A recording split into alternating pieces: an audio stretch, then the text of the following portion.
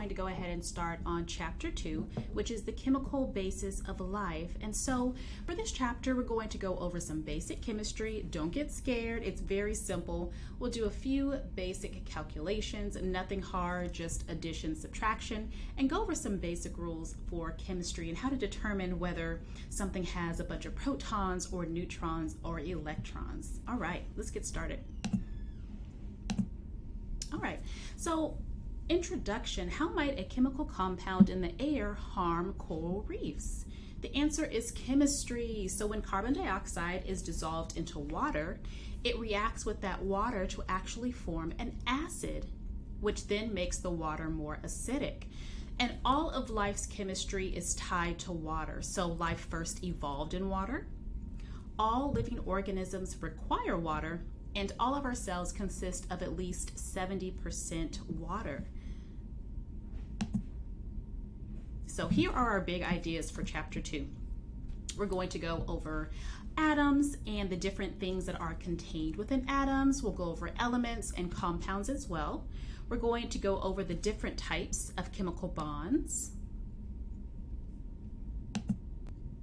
the different types of chemical bonds, and then water's life supporting properties. So, what is so special about water that helps to support life here on Earth?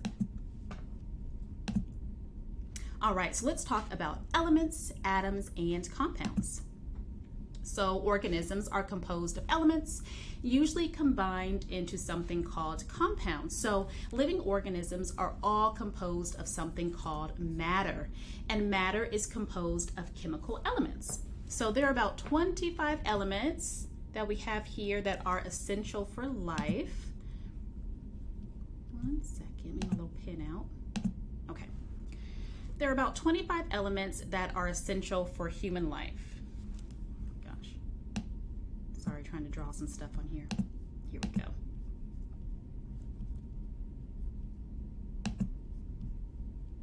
Put a big circle around 25, okay?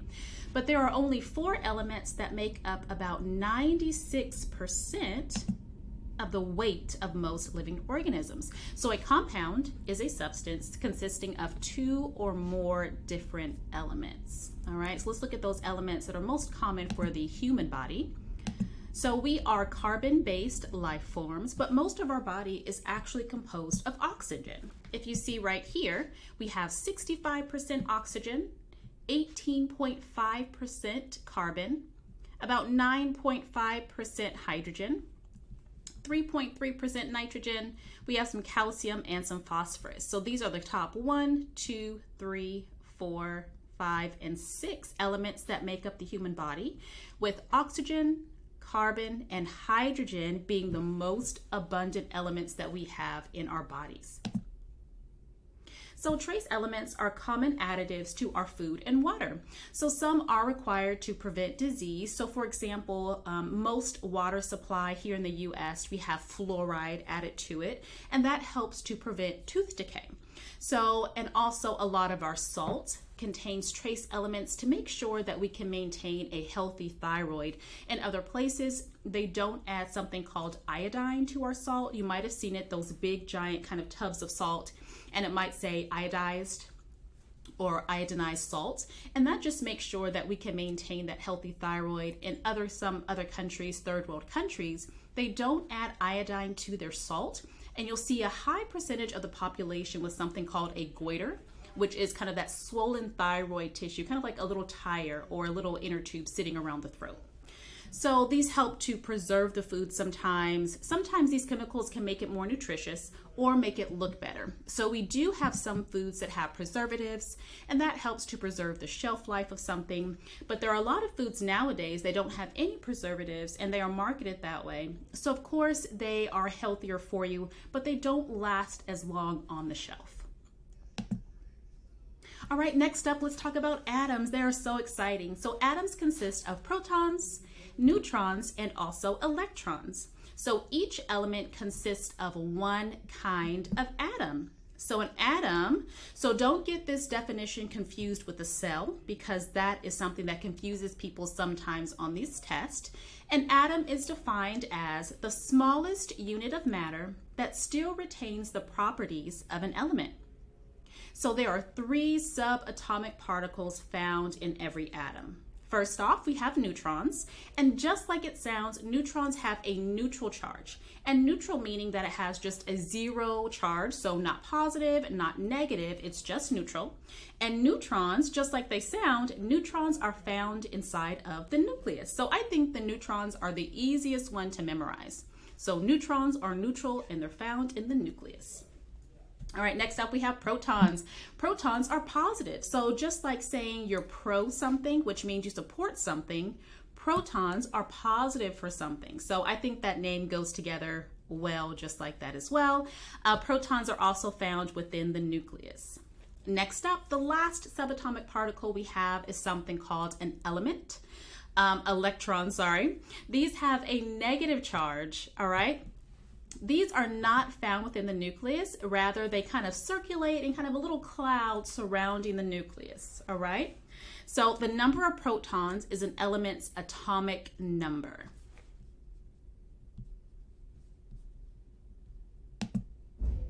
All right, next up. Um, an atom's mass number, on the other hand, is the number of protons plus the number of neutrons that are found in the nucleus. The atomic mass is approximately equal to its mass number. There is something that varies a little bit between atoms. We have something called isotopes. And for these, an element will have the same number of protons, but the number of neutrons will vary. So, for example, a nitrogen atom has seven protons, and its most common isotope has seven neutrons. Okay? But a radioactive isotope of nitrogen has nine neutrons. What is the atomic number and mass number? So, of course, before this, the mass number would be, if we were just looking at the most common isotope, we would do the seven protons plus the seven neutrons, which would give us a mass number of 14. But for this radioactive isotope, we would add those seven protons plus the nine neutrons, okay? And so that would give us a slightly different number. So all the elements you see on the periodic table, it's kind of putting together all of the different types of acid, um, isotopes and coming up with an average number, and that is the number of neutrons that you'll see on the periodic table. All right, so for example, let's look here. So this might be a little bit easier to understand when you see this picture. So this is an atom, this whole thing right here, this circle. And then we have a nucleus, which is the middle part. So if you are familiar with how cells look, a nucleus is typically the center part, usually the larger part of a cell. Okay, so nucleus right here in the middle. We have our positive charges right here, our protons we have our neutral charges right here, which are our neutrons. And look, then surrounding the nucleus right here, we have the electrons in something called an electron cloud. Okay, so remember, remember right here in the nucleus, we're going to have neutrons and protons the positive and neutral charges. And on the outside, we're going to have the electrons, which are those negative charges. So for example, looking at isotopes of carbon, we have carbon 12, which was the most common carbon we find. We have carbon 13 and carbon 14. Just looking at this again, for example, for carbon 12, we have six protons, six neutrons. Something else to note is that protons are always equal to the number of electrons, and electrons are always equal to the number of protons. Okay, so that doesn't really change. The only thing that's going to change is the amount of neutrons. So looking here at carbon 13, now we have seven neutrons, and looking at carbon 14, now we have 18. So that does vary that mass number. And remember, isotopes just vary in the number of neutrons, while those protons are going to stay the same. All right, so don't get confused on that as well in the test. All right, so we also have something called radioactive isotopes, and you can kind of tell in the name that it, radioactive is going to be harmful for the human body. They are useful though as tracers for monitoring different atoms and living organisms. So we have things like MRI machines that can actually, you swallow something, usually a, um, a liquid dye with tracers in it, then you get an imaging done and it sees whether these different tracers attach to something that could be harmful to the human body. Okay, you just don't want to have too much of it. All right, next up, let's talk about chemical bonds. So, the distribution of an electrons um, determines an atom's chemical properties. So electrons are located in something called electron shells that surround the nucleus. So depending on how many electrons are present, that determines how many shells that element actually has. So the outermost shell is something called a valence shell, or we can just call it the outermost shell and those shells like to be full of electrons. So if you only have one shell available, that first shell only has two electrons to make it full, make it stable. But every other shell after that, depending on how many electrons there are, there need to be eight whole electrons available to make those, um, make those shells stable. So with an atom whose outer electron shell is not full, it tends to interact more and be more unstable than an electron who has a full outer shell. So these are able to share, they can gain, or they can actually totally lose their electrons. And these result in attractions called chemical bonds, depending on whether they're sharing, gaining, or losing. And let's go over a couple of those different types of bonds. But first, here's a picture of right here, you see right here in the middle, this gray part will be a nucleus. And this electron, this element has one, two shells. So this first shell is full with just two electrons. This next shell actually needs eight electrons to be extremely stable or totally stable. So because this one only has one, two, three, and four electrons, that means it's not very stable and is going to interact freely with other elements that are around it. Okay, so here is a small part of the periodic table. Don't worry, you do not have to memorize this. It's just here to show you the amount of electrons. So this gray portion right here in the middle is the nucleus, and you see all these blue circles that surround these different nuclei they have different numbers, if you see right here, of electrons. If you look on to the first shell, this hydrogen, this actually only accepts one electron.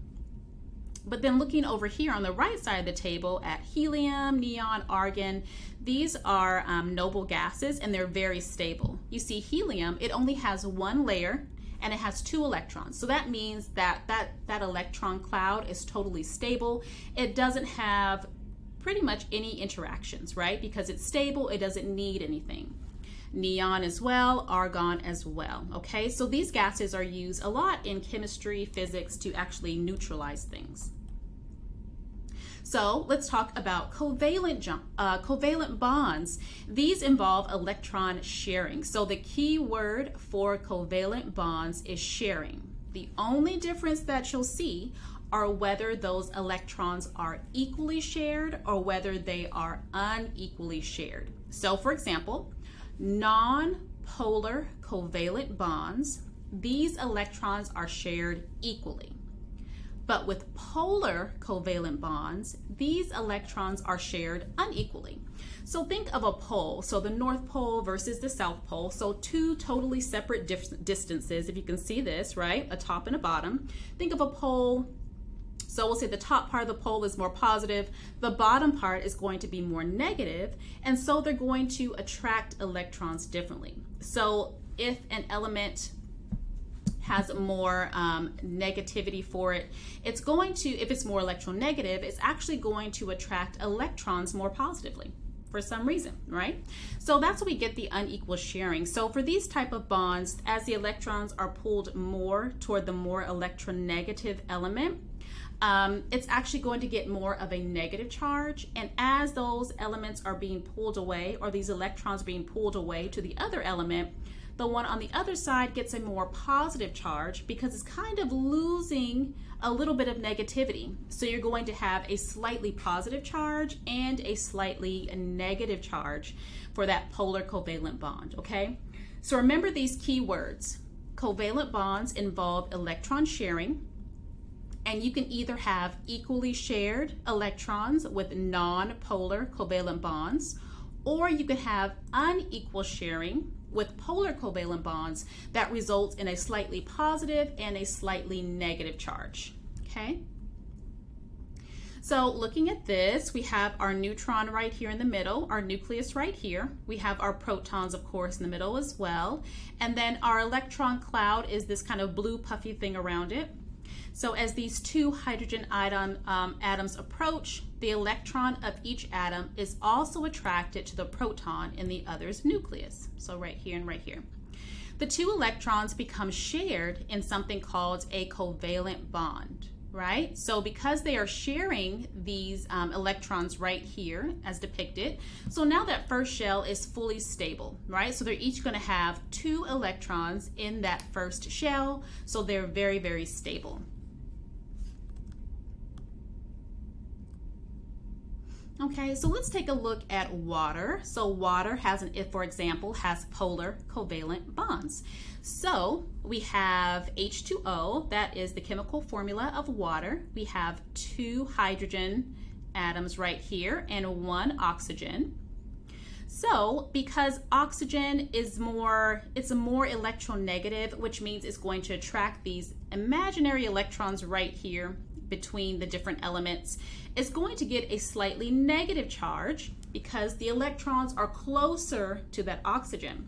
While the hydrogen ions, so right here and right here, these are going to get a slightly positive charge because those negative charges are kind of being pulled more closely to that more attractive oxygen, okay? All right. So let's talk about ionic bonds. So ionic bonds are attractions between ions of opposite charges.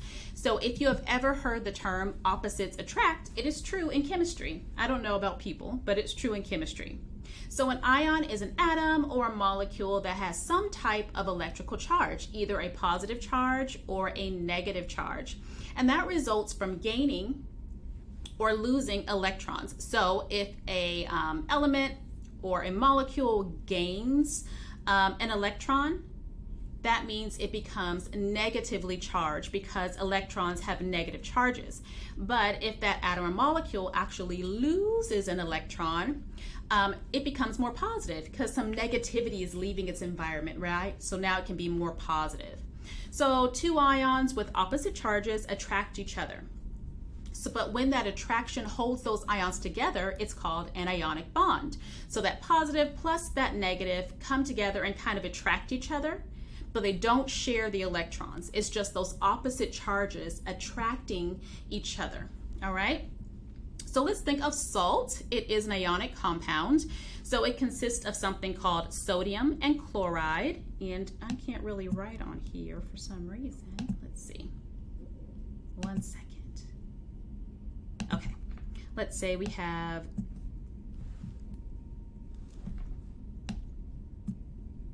sodium. It has a positive charge. And we have chlorine. It has a negative charge. So sodium chloride is just your basic table salt it went away. So when you see here, I drew that, that positive charge right here, and then that negative charge right here. So those two opposite charges are going to attract each other very strongly. So an ionic bond is stronger than a covalent bond.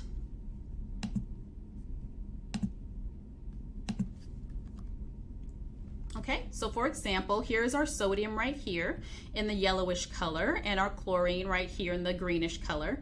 And as you can see, that first layer, it has those two electrons, right? This second layer or second level has its eight electrons, but its outermost shell only has one electron. So this sodium is very unstable. It wants to give away this electron so bad so that it can go back down to just two rings and be stable and be happy, right?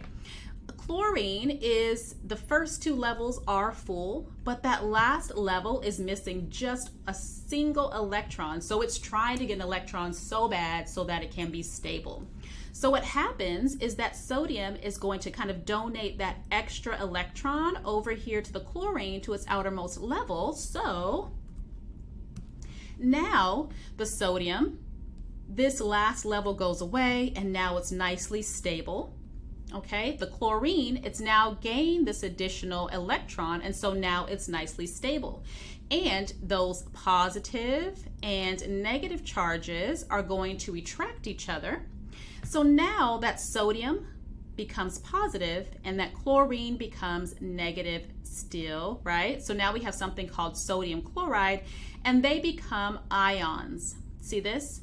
You put a charge right here next to sodium and a charge right here next to chlorine just because that sodium gave away its kind of negativity so it got more positive. And the chlorine gained an extra negative charge in the form of, of an um, that electron. And so now it's kind of more it's more negative you know it's a little bit more sad. All right? So sodium positive chlorine negative and those unequal charges are kind of attracting each other. Okay, so this is the molecule of salt, and here's our, our sodium and our chlorine attracted to each other. All right, next, let's go over this other kind of bond. We have something called a hydrogen bond. So this is a weak bond. All right, so the hydrogen atoms of a water molecule are attached to oxygen by those polar covalent bonds that we talked about. So they are sharing electrons but not equal, right? So unequal sharing. So because of these polar bonds and kind of the Y kind of V shape of this molecule, the water is a polar molecule. And that just means it's going to have a positive and a negative charge, right? So we're going to have that slightly negative charge on oxygen and then those slightly positive charges on hydrogen. Okay, so here is a picture. So the way that water molecules bond to each other, we have hydrogen bonds in between these different water molecules, so H2O, and then water, so the O, which is oxygen, and these hydrogen ions, that is what's forming that polar covalent molecule between the actual H2O. And then you have hydrogen bonds between um, the different water molecules.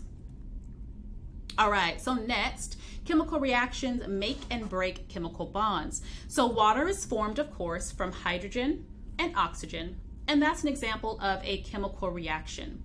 So matter is changed as bonds are kind of broken and reformed, but they do not destroy this matter. They only rearrange it in various ways. Okay, so just like matter, um, energy is never created nor destroyed, it's just kind of converted from one form to another.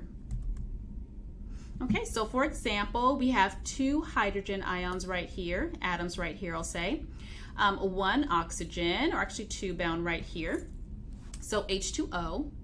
And here is the resulting product. You're going to get two water molecules. So these, um, these molecules are not destroyed. They're just converted from one form, kind of like a little barbell right here, right, to that nice V shape that we like to see in water.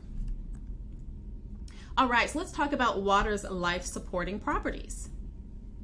So hydrogen bonds are what make liquid water cohesive. So cohesion is, de is defined as the tendency of molecules of the same kind to stick together. So thinking of water molecules, that is how they stick to each other, something called cohesion. So think if you are jumping into a pool, you're trying to dive, but you land on your belly and do a big belly flop the reason why it hurts so much is because of that cohesion between those hydrogen bonds, making it just kind of a, a thick, flat surface to kind of cut through, right? So you have to kind of dive in and cut between the hydrogen bonds to get in there. On the other hand, adhesion is the tendency of those molecules to kind of stick to something else or stick to their container okay? So for example you have you worked out you have a bunch of sweat on your face. So how is that water that sweat actually sticking to your face? So the water droplets are held together by cohesion but those water droplets sticking to your face are held together by something called adhesion because we are not the same thing as water right? Okay good. Here's an example of a buggy using um, that um, cohesion and adhesion this is actually called um, water surface tension to walk on water. All right, so water's hydrogen bonds are also um, moderate our temperature. So heat is absorbed when hydrogen ions break, and then it's released when these hydrogen bonds form again. So this helps to keep our temperatures pretty much steady. Um, the most energetic water molecules, so the ones that are kind of moving the most, that have the most heat, these are going to evaporate And as those molecules evaporate, the surface of that substance cools. So, for example, sweating. When we start to sweat when we're hot, we have all this heat being released. So, as those water molecules are evaporating off, that heat is released and we're able to cool down because we are sweating. Okay, this is something known as evaporating cooling. So think about this living in Alabama where it's really hot and humid. Explain the popular adage it's the heat, it's not the heat, it's the humidity. So just thinking about that, because there is so much water in our air down here, it kind of stops that cooling and evaporation process, right? So you just stay hot. Okay, so look at this guy. He's sweaty. He was just playing something. And you can see this heat actually leaving off his face. He's really sweaty and he's actually cooling down because of all that sweat production. And as that water evaporates, the heat's being released and he's actually, um, we can actively see his cooling process happening here. All right, so another example of water's properties is that ice floats because it is less dense than liquid water. Water can actually exist as a gas, so steam. It can exist as a liquid, so like a glass of water, or a solid, for example, ice. So ice is less dense because of hydrogen bonding. So when water freezes, each molecule forms something called a crystal lattice. And because as these ice crystals form, the molecules are less densely packed. They kind of kind of separate away from each other, and so that makes them less dense. All right, so let's get on to how water is the solvent of life. So, first off, a solution is a liquid consisting of a mixture or two or more substances. So, for a solution, you're going to have a solvent and then a solute. So, solvent is the liquid portion, and the solute is the solid portion. And the solute is actually um, dissolved into the solvent. So think of when you pour maybe a teaspoonful of salt into a glass of water, stir it up, and that salt actually is dissolved into the water. So that salt would be the solute, and the solvent would be the water that you poured the salt into. So water is kind of like a universal um, a universal solvent, and that means lots of things are dissolved into it. So you can have polar or charged solutes dissolve when water molecules surround them, and that forms something called an aqueous solution. Okay, so for example, you put that salt in the water. So these, these positive hydrogens are attracted to the negative chloride ion, while the negative oxygen, so those slightly negative oxygens, are attracted to the positive sodium ion. So remember, those opposites attract, and they're going to go ahead and bind to their opposites whenever they're put in solution. All right, so the chemistry of life is also very sensitive to acidic and basic conditions. So if anyone has heard of the pH scale before or acids and bases, this is what I'm talking about. So in liquid water, a small percentage of water molecules break apart into ions. And when I say ions, I mean, let me get my little pen out again. They break up into something called protons. Here we go, protons or hydrogen ions, the same thing and they are positively charged, okay? Or we can get them to break up into something called a hydroxide ion, and this one is negatively charged, okay? So we use the pH scale to describe how acidic or basic a solution is. A buffer, meanwhile, minimizes changes in the pH. So a neutral, a neutral pH is 7. So if you add a buffer, um, you're trying to get that neutral pH back. Um, to make it more acidic, it's anything below 7. To make it more basic, it's going to be any number above 7 all the way up to 14.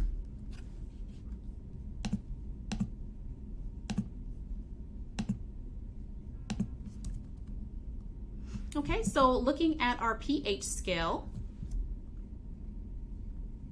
you see we have right here in the middle, we have a neutral pH and that's about a seven, which is pure water, human blood, tears, things like that. Um, that means you have an equal amount of positive ions and an equal amount of negative ions. So anything lower than seven, usually down to zero, that's going to be more acidic. okay?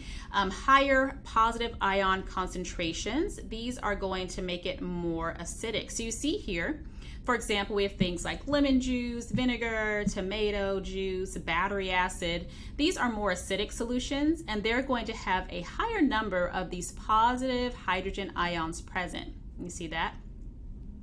The neutral solution is going to have an equal amount of hydrogen and hydroxide ions. A more basic solution, anything 7 to 14, the higher this hydroxide or OH negative concentration, and that just means it gets more and more basic. So think of your basic household cleaners, laundry detergent, um, antifreeze. These are all more basic um, compounds, we'll say, or basic solutions. So you see here, there are more negative ions than those positive ions present. So this is our, this is our um, acidic pH scale and our basic pH scale.